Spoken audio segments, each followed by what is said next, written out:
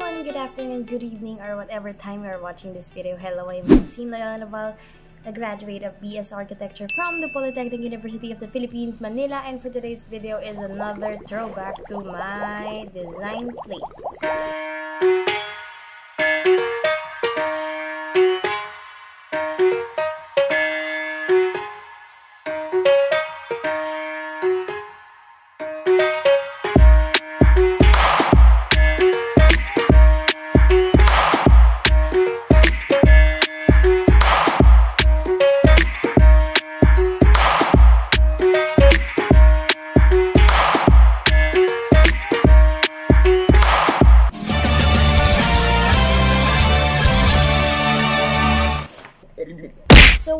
Would be vlogging for today is yung plate ko ng Design 5, Architectural Design 5. And actually, ito yung isa sa mga plates na sobrang overwhelming niya nung nag-third year na ako sa Archi.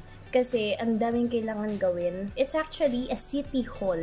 Kaya siya lang mahirap kasi we had to make space programming, um, need namin mag-research about organizational chart, kinailangan din namin mag-case studies or mag-visit sa mga munisipyo, sa city hall, para ma-analyze yung flow ng tao. So, yun yung mga mahirap sa kanya, especially by the time na we had to draw the floor plans na, sobrang hirap niya i-zone. Very tedious din yung process niya, of course sa space prog pa lang, dapat uh, kapag drawing mo na siya, tama yung sukat ng mga offices, yung distribution niya, dun sa floor plan mo. So, yun yung mga pinakamahirap in terms of designing a city hall. This was also the plate na hindi ako nagpapakonsult sa advisor ko. So, nagulat na lang siya na medyo okay yung gawa ko. So, I got a good grade naman dito sa plate na to. Yung advisor kasi namin, she was also our graphics prof. Hindi naman talaga big deal kung very colorful yung presentation. More on ma-technical or like very drafting yung vibes ng plate na to.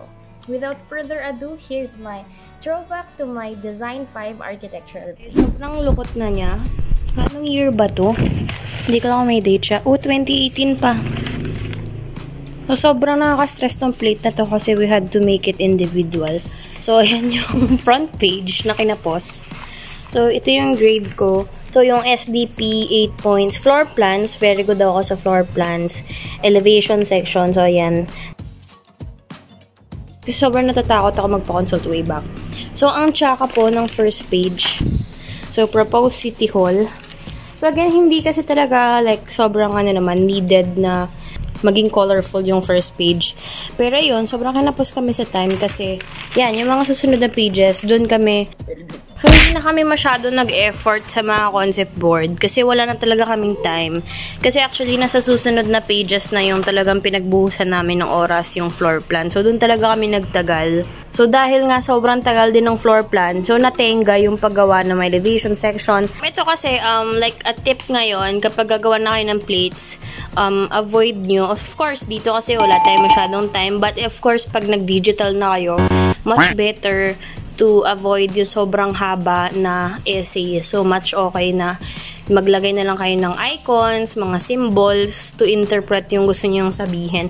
But of course, this is manual kasi so wala pa kaming time masyado to draw.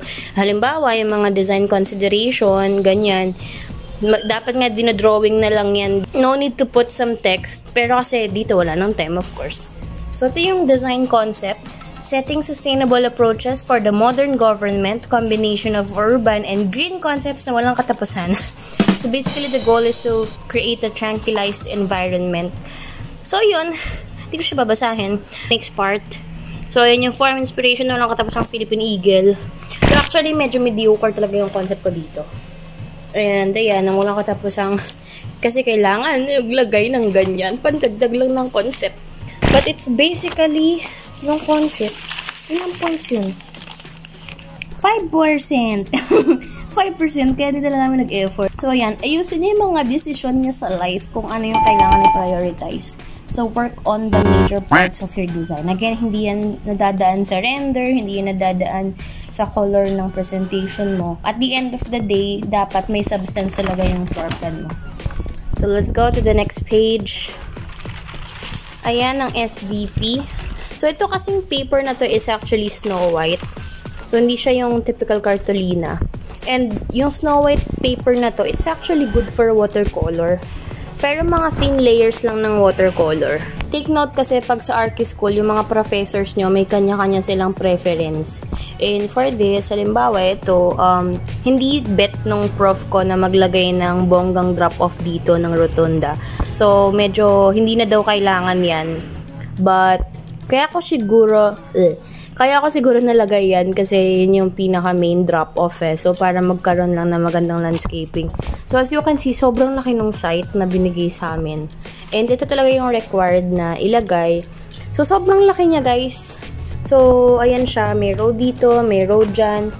Then Speaking of Snow White, ayun yung um, isang tip ko rin sa inyo when rendering. Instead of fully um, splashing the ink of your markers, mas okay, watercolor na lang ang splash nyo dun sa paper nyo. Kung kaya niya mag-hold ng wet medium. So, kasi sobrang aksayado niya sa pigment kung markers gagawin yung mano-manong ganyan. So, that's what I usually do sa mga plates ko talaga way back then. So, para lang akong nag-base color lang ng green Then, of course, wala naman na, talaga ako masyadong time. So, then, markers, then ink. So, ganun na lang. Next page. Ito na ang floor plan. Sobrang madugo yan, guys. So, maybe I'll take you a tour to this floor plan. Yung initial feedback dito sa akin, of course, may obstruction sa bandang main lobby. And kapag magpe-present nga pala kayo, ito natutunan ko na sa work. Much better itong mga grid lines. Huwag masyadong maraming linya na to the point na nakakain na niya yung buong floor plan. Okay na yung naka-reflect yung lines sa left side and sa upper portion ng floor plan. Ano pa ba meron dito? Sobrang hirap nito kasi detailed yung furniture layout dito kasi talaga dapat alam mo how the office works, gaano siyang kabisi, ano yung pinaka-busy parts ng City Hall, ano yung configuration ng furniture, how do the staff um, use the space. So, yun yung mga pinaka-critical considerations kapag magpaplano ng actually in any office um, setting, no? So, let's take a tour dun sa floor plan. Ewan ko ba kung ba't ganyan yung naisip kong form. Pero nakita nyo naman kasi yung site development plan, sobrang laki ng site. Kaya talagang, actually talagang malaki gumawa ng City Hall. Kaya yun, yun yung madugong part. So, yun yung ginawa ko, of course. Actually, ito, yung dalawang ramp, hindi naman talaga siya sobrang necessary, but it will depend actually sa number of users din, yung ratio ng PWD. But most of us, ginagawan dalawang ramp sa magkabilang side para lang maging um, symmetrical. Then, merong dalawang um, pintuan, pwedeng entry or exit points. Then, of course, actually, ito is high ceiling na makikita nyo mamaya. So, ito lang yung um, hindi recommended daw sa gawa ko is, naglagay kasi ako ng open, um, parang ito garden, kinemarlo sa gitna sana. So, sabi ng prof ko, hindi naman na siya needed. Then, of course, siguro lucky lang ako na yung mother ko kasi is nag-work sa munisipyo.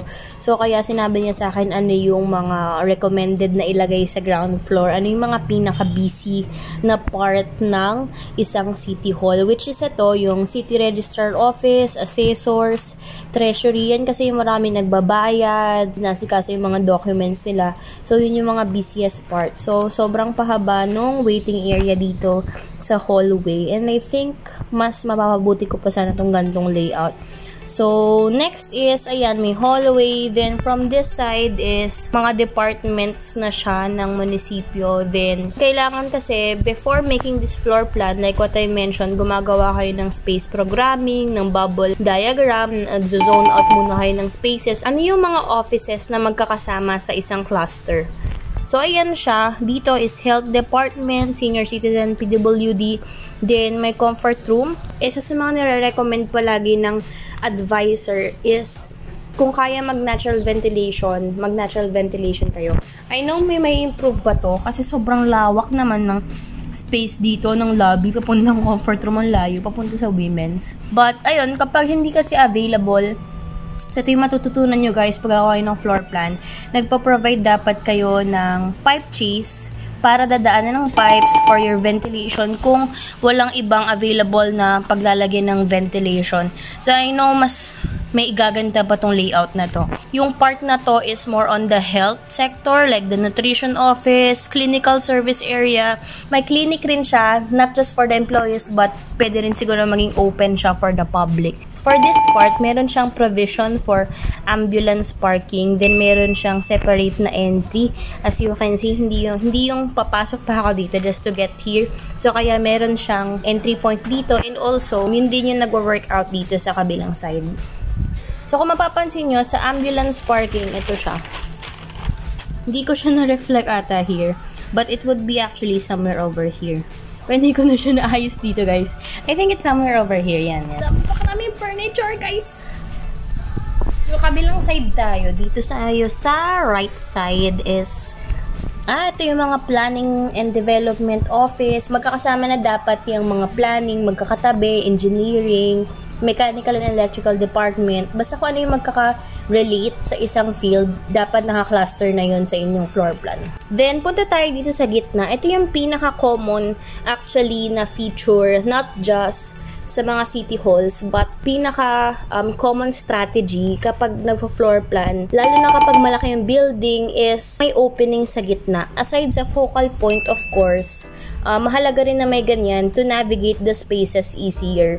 So kumbaga hindi ka maliligaw ba? So alam mo kung nasang part ka ng building. So by the time na you get here sa gitnang part then Maring may mga signages na dito that will lead you to this cluster. Then, meron naman dito sa part na to. Then next is, ito yung mga very small offices lang, like the agricultural department, sports, tourism, parks and wildlife, city environment, and yung zoning department, which is kaya nandito, para related pa rin siya dito sa part na to. Um, bakit ba sila nasa likod? Kasi ito yung mga offices na hindi gaano karami yung nakikipag-transact everyday. Unlike dito, sa napakalawak na offices nito sa mga treasury, sa mga registrar, so maraming mga bayarin dyan. Now, let's go to the second floor. So, ayan guys, ito na yung second floor. Ito yung kanina nga na sinabi ko na nasita ng advisor ko pero kasi sa bagay, redundant na nga rin naman siya. May open below na ako dito. So, na-imagine ko na may ceiling, high ceiling, tas may mga paintings, bababla, ganyan-ganyan, tas may overlooking ka sa entry point. And ang kagandahan din dito sa design na to, um, maganda kasi mag-high ceiling, especially sa mga entry, not just for the aesthetic, um, para ma-improve din yung air circulation niya kasi dyan dadagsa yung maraming tao. So, kaya maganda na high ceiling din and hindi siya nakaka-suffocate by the time you enter to the space. So next is, ayan, pag akyat mo, you're still in the middle, madali pa rin mag-navigate, so makikita mo kung saan ka pwede pumunta. Then, ayan, mga SK offices, the city library, So, ayan siya guys. City Library, Audiovisual Room, Social Welfare Department, bababla, ang dami. So, kung mapapansin nyo, may clustering na naman ako ng spaces. Like, for example, yung City Library, katabi niya yung Education Department, tsaka yung mga related doon sa function na yon. And as for this, kung mapapansin nyo, binukod ko siya na access. So, wala siyang access from here. So, kumbaga, itong Social Welfare Department, is dito siya accessible lang sa part na to. So, para nakikita ko kasi sa mga operations din, um, nag-ooperate din siya ng bukod. Busy rin na department apart from this para may discretion ng space. Para hindi mo kailangang pumasok pa dito para lang makapagdala dito. Actually, kasi dito sobrang busy. Yung nag ng goods, something like that. So, much better yung madali lang siyang puntahan. Next is going to the other side. So, dito naman is yung session hall. Magkakatabi lang siya ng ibang departments. Of course, yung mga offices. Dito ko na lang din nilagay yung office of the vice mayor. Um, para maganda yung kanyang um, view. So, maraming bintana. So, ayan siya. Um, for this kasi, syempre, nahihirapan din ako sa form concept ko. I know, hindi siya sobrang symmetrical yung layout. Ang ginawa ko na lang, sa session hall kasi, since maraming tao yung mag-occupy ng space dito, I had to make sure na, of course, kapag sa fire, um, kailangan ma-consider din yon paano yung egress ng tao kapag nagkaroon ng sunog. So, ito is, of course, a double door papasok. Then, meron din dito na secondary access na pwede rin sa technical and sound system mag-operate dyan. Then, ito rin, pwede rin siyang exit point papunta sa fire exit.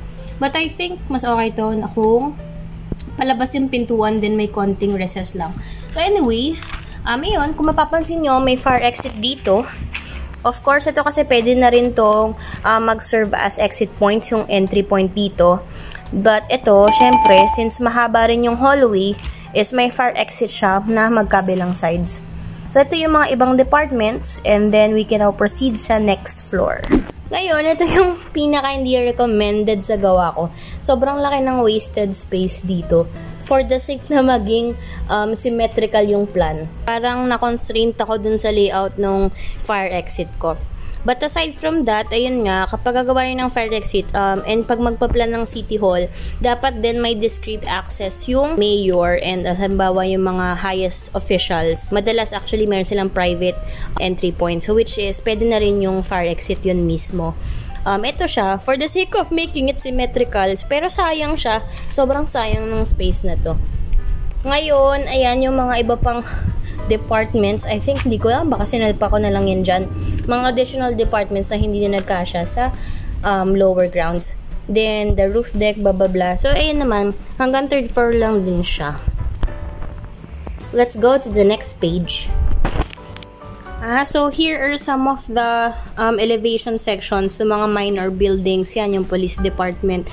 Hindi na to masyadong pinansin. Actually, hindi ko nga alam kung pinesent ko to eh, charot. Um, I think ito yung mga mainly pinesent ko that time kasi kailangan namin ipaskill sa board. But hindi siya, so actually hindi nga siya yung sobrang tapos kung tutusin. Next is, let's go to the next page. Then, ayan, sobrang kawawa na siya, be. Fire department, maintenance and motor pool. Sobrang hirap na hirap ako dyan. Actually, nangopya lang ata ako dyan eh. Charot. Tinignan ko yung mga floor plan ng kaklase ko. But hindi ko na siya masyadong naayos. Ugh! Uy, mamaya na yun. Next is ito. Ah! Sipag ah. Sipag magbintana. Ayan ang front elevation. Yun na na guys, yung pinaka mahirap talaga kapag nagmamanual is kapag gagawa ng section. Pag gagawa kayo ng elevation, may enjoy mo pa. Pero pagdating talaga sa section, ang dami nagtatagal dito. Kaya hindi ko rin nagawa ng sobrang detail yung drawings ko dito kasi sobrang consuming niya. Then, kailangan very accurate din siya. Kaya nga ngayon kapag sa work, sobrang easy peasy mag-section kapag marunong ka na mag-revit, mag-sketch up, kasi ang dami mong mapoproduce na sections, not unlike kapag manual drawings. So, thanks to technology na we don't have to do this anymore, yung mga ganitong manual drawings. Mga matututunan nyo pag gumawa ng kayo ng plate is yung tamang paggamit ng line weights. Kung makikita nyo halimbawa kapag elevation, yung mismong NGL niya, mas makapal, like usually use yung pinakamakapal, like 0.5, 0.6, pati yung outer part ng building, yung outline niya, madalas kinakapalan natin yon para mas makita at mas lumitaw yung form ng building. Then, halimbawa, kapag mga details na lang ng furniture, ng mga materials like windows, doors, naka point 1 na lang siya and some details would be done sa point 3. So, mahalaga talaga sa drafting yung line weights. Now we're down to the last page. Again, kasi sobrang rush na nito. Almost done. So, ito, hindi ko pa kasi tapos talaga yung floor plan nung ginawa ko to. And I'm not the best at doing perspective. So, sobrang rush lang siya. Pasensya na akong distorted. So, ang ginawa ko kasi dito, um, nahirapan ako kung paano siya gawing perspective. So, I can still remember I had the help from my boyfriend ko na siya ngayon. Pero hindi ko pa siya boyfriend during this time. Nagpa-3D kami, most of us, sa kanya, floor plans namin. Kasi ba, binakat na lang namin to sa perspective para mas madali. Kasi ang hirap i-project na to, o, yung mga windows. So, ayun, um, sobrang muddy nung itsura niya. Kasi talaga din ako na lang sa watercolor. Ito, maaga ko na itong ginawa nung nabuo ko na si floor plan, so sa tingin ko parang wala na mababago dun sa design. Ah, sige, okay na to. Then, ayan siya. Dapat nga meron pa dito, ano, siningit ko lang yung views na yan. I know this isn't the best perspective you'll see And nakikita ko nga sa mga students ngayon, sobrang gagaling nila mag-perspective. Bakit kayo ganyan? Ba't ang galing nyo? So, next is last page na tayo. Ayan. Uh, again, binakat ko lang po ito. So, halatang hindi naman siya tapos. But, hindi naman siya like naging big deal dun sa advisor ko. Basta hindi siya uh, magulong ting... Actually, magulo pa rin naman to. Kaya ang ginawa namin, nagbakat-bakat na lang kami dito thanks to the help of Gemini. So, ayan siya. Wala nang tinta yung ink ko. And that's it for my plate. Wala na. That's it for my plate throwback. Sana marami kayo natutunan. And ito na, napakahaba ng video na ko. Tapos 15 minutes na siya. So, yun na first Anyway, kung gusto niyo help sa thesis, feel free to approach me on Facebook or on YouTube. So, gumawa ko ngayon ng online community about their thesis. At dahil madaldal nga po ako, naglalagay ako ng mga voice messages. I share tips din, except for my thesis book. Charot. So, I just want to help you guys. So, alam ko maraming nahirapan ngayon sa thesis nila. And bakit nga ba ako gumawa? Kasi nakita ko na naman sa algorithm ko na nabubuhay niyo naman ng mga thesis videos and I'm so glad na nakakatulong sila sa inyo.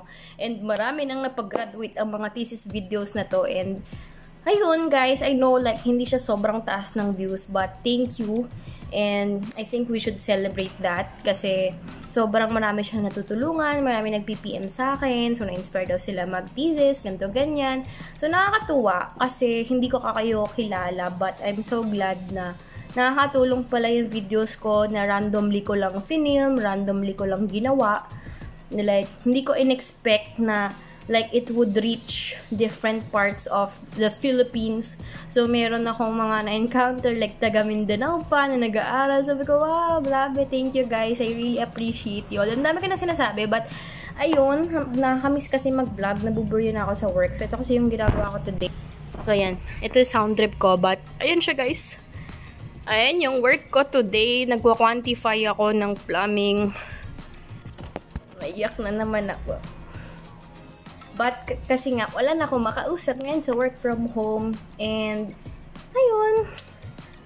Mamiss ko rin mag-vlog. So, thank you guys! Thank you, thank you rin sa pag-support sa recent vlog natin. Ito na, magbababay na ako. If you like this video, don't forget to like, share, and subscribe to this channel. And this is Maxino always keep on saying, trust the process and keep the passion burning. See you in the next vlog!